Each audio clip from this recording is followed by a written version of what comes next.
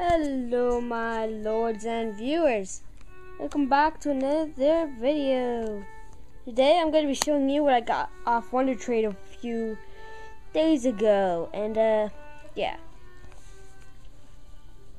I got this from GTS and people, and I traded Rockruff for it. Oh, an Igglybuff. I'm catching this.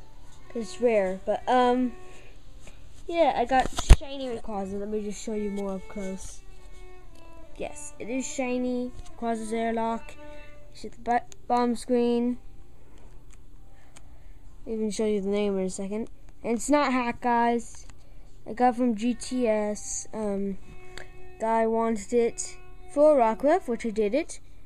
Which is a good way.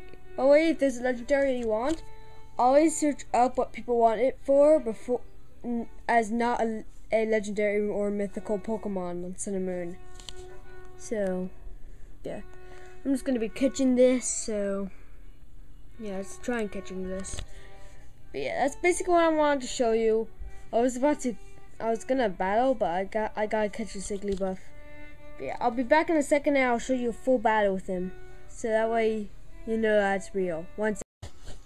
Alright, I'm back.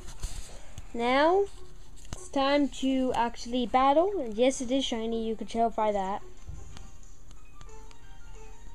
And the color, of course. Now, let's Mega Evolve and beat him.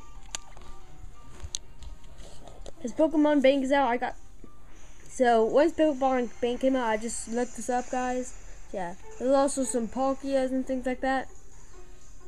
So, yeah.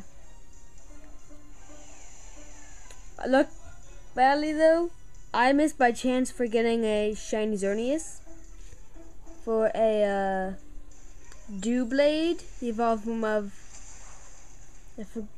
of Honedge. But I missed my chance. But if you ever if you ever get that chance, guys, don't um